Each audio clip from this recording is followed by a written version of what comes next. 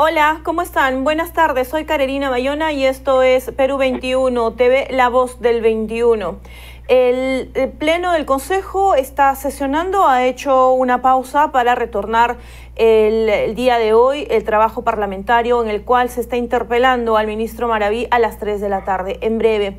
Momento también para, eh, mientras el Parlamento se da un respiro, poder analizar las respuestas que ha dado en este pliego interpelatorio el ministro Iber Maraví. Y en el punto que corresponde a eh, la aclaración que tiene que hacer respecto al magisterio y sus vínculos en protestas eh, que tendrían que ver con informes periodísticos y atestados policiales que habrían actuado como instigador y generando sobra. Es ahí donde queremos detenernos en este momento. Y para eso estamos en comunicación telefónica con Lucio Castro. Don Lucio, muchas gracias por su disposición. Don Lucio es secretario general de SUTEP. Buenas tardes, ¿cómo le va? Buenas tardes. Gracias al contrario por la oportunidad y siempre aprovechando para extender un saludo a todos los trabajadores y en particular a los maestros de autoridad de educación del país. Bien, don Lucio, el ministro Maraví en el punto eh, que le han pedido aclarar cuál fue su participación en la protesta magisterial en Huamanga y Acucho, según informes periodísticos y atestados policiales, donde habría actuado como instigador y generando zozobra, el ministro Maraví ha indicado eh, en su respuesta que su protesta magisterial en el 2004, y lo cito, fue en calidad de secretario del SUTES provincial Huamanga, ¿no? Y esto ejerciendo su derecho a la protesta defendiendo a los maestros. Es cierto que Iber Maraví eh, ha sido secretario del SUTE provincial en Huamanga. Eh, en principio yo quiero expresarte lo siguiente, esta es una novela que ya debe terminar, puesto que hay temas mucho más importantes y que son preocupación de todo el país, que tienen que ver con eh, acabar con la incertidumbre y enfrentar los problemas económicos que tenemos, ver el tema de cómo afrontamos la misma pandemia, apuramos la vacunación, el tema de la educación, etcétera. Y ahí creemos que el Estado, el Estado y el gobierno deben centrar su atención. En segundo lugar, sobre lo que tú preguntas, eh, mira, en, de manera enfática te digo, el señor Guillermo Moraví nunca ha sido de nunca ha sido dirigente de UTEP, no está en nuestra base de datos y siempre ha asumido esa postura divisionista eh, de los trabajadores y ha usurpado siempre el nombre el nombre para poder tener un espacio, para poder tener un auditorio entre los maestros que como tú sabes, cuenta y estudiantes casi que tiene Twitter, siempre están atentos a lo que los dirigentes señalan. En todo caso, sí, Maraví siempre eh, usa de sus palabras el nombre del SUTEF y no ha participado, no es dirigente del SUTEF, entonces, ¿a qué gremio perteneció? Mira, he visto que están circulando ahí unos documentos, uno de ellos un estatuto del CONARE. Y como miembro del comité electoral aparece justamente el señor. Y de esta manera, yo creo contundente, él no puede seguir negando lo innegable. Él, está, él ha sido parte de una organización que es CONARE. CONARE, como tú sabes, ha sido un organismo generado por Sendero Luminoso, eh, que tuvo como un radio de influencia el, magisterio, en el ánimo de dividir a los trabajadores. Él ha sido uno de los militantes de CONARE. Ese es harto conocido en Ayacucho y ahí está la documentación que prueba justamente lo que se afirma.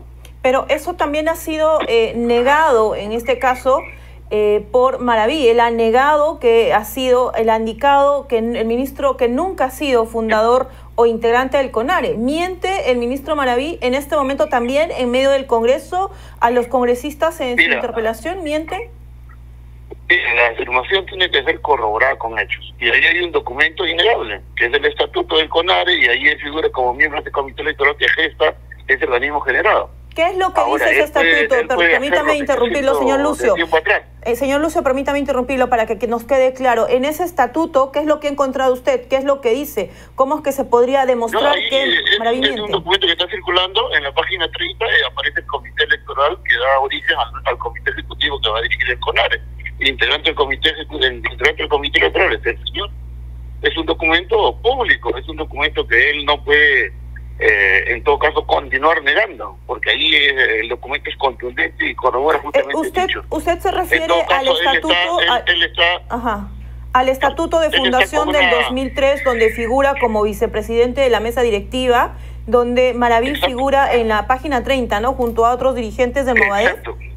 ¿Sí? Claro, ahí hay, ahí hay personas ligadas a Movadef cuyos nombres también han sido señalados por medios periodísticos, ministros, ex ministro del Interior, etcétera. O sea, no es algo que dice usted. Es algo que está ahí documentado, probado, y lo cierto es que el Señor ha venido negando absolutamente todo, como Pedro a Jesucristo.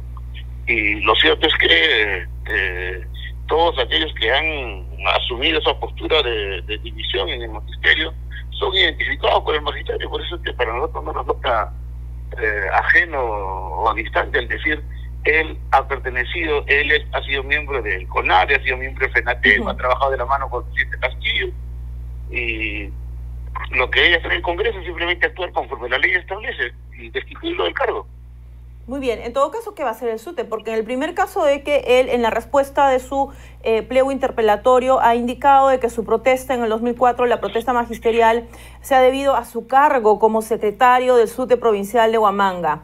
Eh, y ustedes no. han dado una réplica. Bueno, ahora que le estamos pidiendo la versión, pero ustedes como SUTES van a hacer un pronunciamiento, el magisterio va a hacer algo al respecto. Nosotros, nosotros estamos cansados de que de tiempo atrás elementos divisionistas en el magisterio han utilizado el nombre de SUTEP para generarse espacios y auditorios dentro del magisterio y no han tenido la valentía de hacer uso de los nombres de las organizaciones a las cuales ellos realmente pertenecen.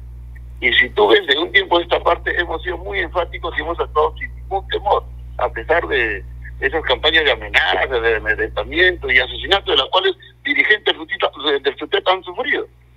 Entonces, eh, nosotros, te digo de manera uh, certera, eh, lo que debe hacer el Congreso es destituirlo, porque él en el terreno político ha tenido que ser una persona intachable, una persona que no genere ningún tipo de cuestionamiento, y lo cierto es que desde el primer día de, asumir esta cartera de ministerio ha generado un sinnúmero de inconvenientes para el manejo del gobierno, para los trabajadores, porque ha promovido la división a través de la constitución de su federación, de su sindicato, junto con el presidente Castillo, y eso es lo que consideramos nosotros como dirigentes del PET.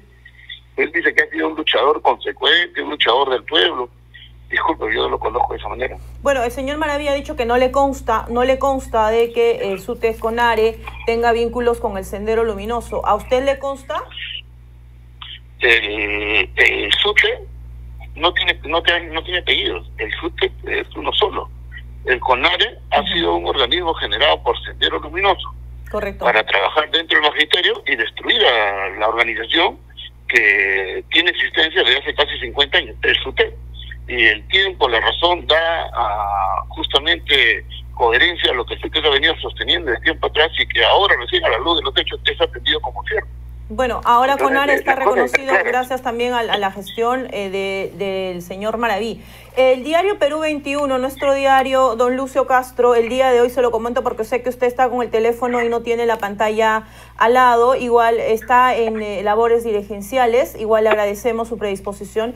Nuestro diario Perú 21 hoy día en la investigación de nuestro compañero Alexander Villarroel ha dado a conocer encuentros de Edgar Tello, el congresista, con el camarada Rubén en el Congreso el diario Perú 21. Hoy en nuestra investigación damos a conocer además de que em, se habría contratado a la hija, don eh, Lucio Castro, del camarada Rubén. ¿Quién es el camarada Rubén? Es sindicado como, es un excarcelado por el terrorismo sindicado como el camarada Rubén y ha tenido más de 15 reuniones con el congresista Tello y ahora su hija está trabajando en eh, el despacho congresal. Entonces, un gobierno que ha nacido a nombre, que ha llegado a nombre de el pueblo y de los, de los maestros, que representan los maestros, porque cuando ven a Pedro Castillo, ven a un maestro eh, ahora recibiendo, vinculándose y contratando este tipo de de personas que la única, eh, el, el, único, digamos, logro que tienen es ser hijos eh, eh, de, relacionados con escarcelados por, escarcelados por terrorismo. ¿Cuál es su opinión, por favor?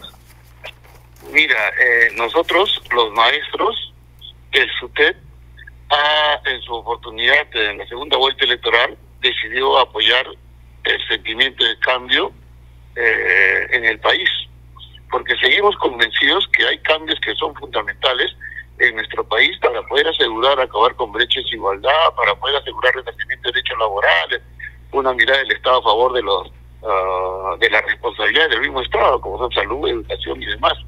Y lo cierto es que no hemos votado por Sendero Luminoso, no hemos votado por Movadez, pero estamos viendo que dentro del gabinete ministerial hay elementos ligados al Movadez, ligados al Sendero Luminoso, porque Movadez es el brazo político de Sendero Luminoso, y no es un tema que lo dice usted, es un tema que ya está prácticamente documentado, probado, y sin embargo lo siguen negando. ¿Y ustedes por quién han votado, señor Lucio Castro? ¿Por Pedro Castillo? Nosotros nosotros hemos votado por el señor Pedro Castillo y hemos uh, tenido un acuerdo. Vamos a respaldar ese sentimiento de cambio representado uh -huh. al señor Pedro Castillo y vamos a asegurar y vamos a exigir y, y, y fiscalizar vigilante que los compromisos electorales se cumplan. Pero Por eso no es el momento también, don Lucio, para decirle a Pedro Castillo, por quien ustedes han votado, de que deslinde, se deslinde de Movadef, que se deslinde de Sendero Luminoso. Ese, ese lo hemos señalado hace un rato, que lo que tiene que hacer Pedro Castillo es no seguir actuando como dirigente, sino como presidente. Este es un país y él está gobernando a todos los peruanos y nosotros no hemos votado por Sendero Luminoso ni por Movadez. Sí, pero ya son dos meses, don Lucio, ¿no? Como que son Exacto, dos meses, ustedes han hecho un pronunciamiento, no los hemos visto movilizándose, no les hemos visto, digamos, diciéndoselo al presidente, dos meses ya, y, y en esta situación nos, nos vemos... Nosotros, sí, lo, lo escucho. Que en todo caso te informo es que nosotros hemos sacado distintos pronunciamientos, documentos, y nos, vemos, nos venimos expresando en los medios de comunicación, en nuestras redes sociales, diciéndole al señor Castillo, nosotros te respaldamos y nosotros hemos dicho que vamos a ser vigilantes con tus compromisos. Y por eso aprovecho la oportunidad para decirle señor Castillo, un compromiso suyo fue mayor presupuesto para educación, uh -huh. nombramiento de maestros contratados, incremento digno de remuneración de los trabajadores, pensiones justas y dignas para los cesantes y jubilados, ingresos libres a las universidades. Y ninguno de esos compromisos los está cumpliendo porque uno revisa el proyecto de ley presentado por el Ejecutivo al Congreso y ahí no hay ningún tema de los compromisos planteados y eso significa desacreditar la palabra del maestro y eso significa engañar a los trabajadores. Por eso consideramos que ese ese camino de eh, recoger las eh, necesidades, expectativas de los trabajadores, canalizarlas y cumplirlas, es el camino que debe retomar. Caso contrario, pues los mismos trabajadores y ya en su historia conocida serán las calles las que tendrán que permitir y asegurar que los derechos sean reconocidos, que las atenciones sean dadas para Correcto. los trabajadores. Pero bueno, seguramente gobierno, que no, no están cumpliendo sus promesas, don Lucio. Don Lucio, quizás no están cumpliendo sus promesas el gobierno porque está muy distraído tratando de, de, de levantar este esa, esa des, eh, lo, que está desacreditado por estos eh, personajes y estas figuras que han puesto a gobernar. Termino con esto. El SUTEP, el Sindicato de Trabajadores, el, eh, deja, déjeme por favor leerlo bien porque yo quiero ser precisa con el nombre del sindicato. Don Lucio, por favor, a ver. El, eh, es el sindicato único, unitario, sindicato unitario de trabajadores en la educación del Perú, SUTEP. ¿Le pide a Pedro Castillo que retire a Ayer Maraví o cuál es su posición? Lo escuchamos. Nosotros le hemos dicho tiempo atrás al señor Pedro Castillo que en su gabinete está gente ligada al Movadé, un plato político de sendero luminoso, y nosotros los maestros, los trabajadores, la gran mayoría en el país, hemos votado por Movadé. Entonces lo que él tiene que hacer es deslindarse de aquellos que le han hecho mucho daño a la educación, mucho daño a los trabajadores, que han le, le han hecho daño al SUTEP, puesto que han asesinado dirigentes del SUTEP, y que gobierne y que entienda que es presidente de la República y le preste atención a aquellos compromisos que durante campaña señaló y que hoy en la práctica no está cumpliendo. Y eso está generando mucho malestar y detectando. Y eso puede estallarle en la cara, porque así como se le ha apoyado, así también vendrá el cuestionamiento con mucha contundencia. Tú decías hace un momento algo sobre el señor Tello. El señor Tello tiene también una práctica conocida, al igual que la Iber Maravilla. En todo caso, ahí seguramente van a surgir las eh, correspondiente para determinar ese nivel de vinculación y dice siempre representar al magisterio no tiene no ha tenido para hacer congreso más de 3.000 votos y el magisterio hay 500.000 trabajadores por tanto cuando él habla no del magisterio simplemente sigue su práctica mentir ¿Cuál es esa práctica conocida del señor Tello? Porque además cuando Perú 21, nuestros investigadores se han comunicado con él, ha dicho que le están sorprendiendo. Él es divisionista, él es uno de los ah, promotores correcto. de la división de los trabajadores siempre ha dicho ser usted y él no ha sido nunca afiliado al usted y ahora se aparece dentro de su verdadera organización que la ha constituido, que la han constituido el presidente de la República y el ministro de Trabajo, a la cual pertenecen varios congresistas, con mucho derecho, por cierto, pero lo que tienen que hacer es decir las cosas y decir a quién han pertenecido siempre, asumir con responsabilidad y seriedad la posición política que ellos representan. Y no escudarse en la masa, no decir me terruquean, me, me, me, me tratan de inculpar, Debe asumir con responsabilidad, valentía, coraje y decisión su filiación política. ¿Y, y don Edgar Tello, el congresista, ha pertenecido al CONARE? ¿Al Movadef? ¿CONARE? Mira, esto, esto no es eh, eh, describir algo, no, es en todo caso asumir una situación no conocida, esto es conocidísimo. El señor siempre ha sido uno de los que ha promovido el CONARE, pero siempre se ha refugiado y ha usurpado el nombre del SUTEP. Correcto.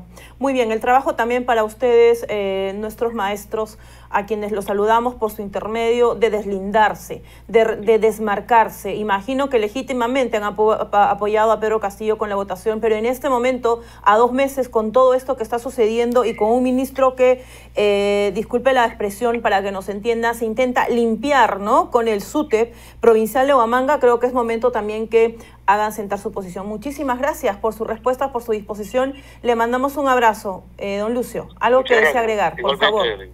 Sí, simplemente estamos nosotros en esa labor de esclarecimiento.